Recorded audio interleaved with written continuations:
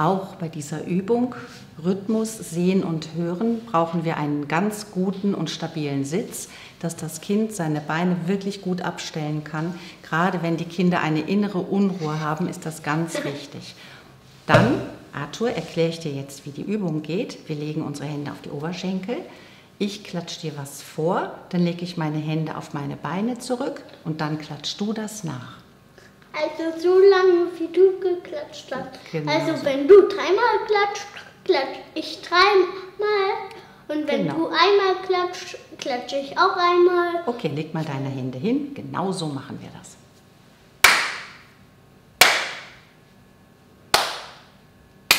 Prima gemacht.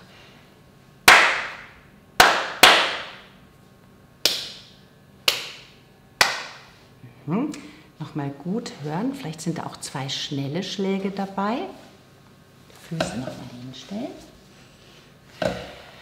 Achtung.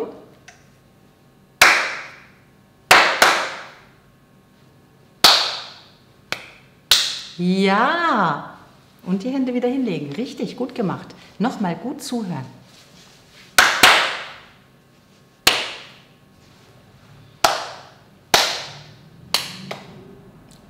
Und wieder hinlegen. Das Ziel ist, dass das Kind eigentlich bis zu fünfmal klatschen hören muss und auch die Rhythmen mit wahrnehmen soll. Dass das Kind wirklich sowas nachklatschen kann. Und je älter das Kind ist, umso besser muss das kommen. Und ein Kind im Kindergartenalter mit drei und vier und fünf Jahren, da gibt es halt einfach, man kann sich vielleicht merken, mit drei Jahren dreimal nachklatschen, mit vier Jahren viermal und mit fünf Jahren sollte das Kind oder auch sechs Jahren fünfmal entsprechend nachklatschen können. Wichtig ist stabiler Sitz und das Kind soll die Hände auch immer wieder selber auf die Oberschenkel zurücklegen, damit immer ein klarer Anfang und ein klares Ende ist. Okay.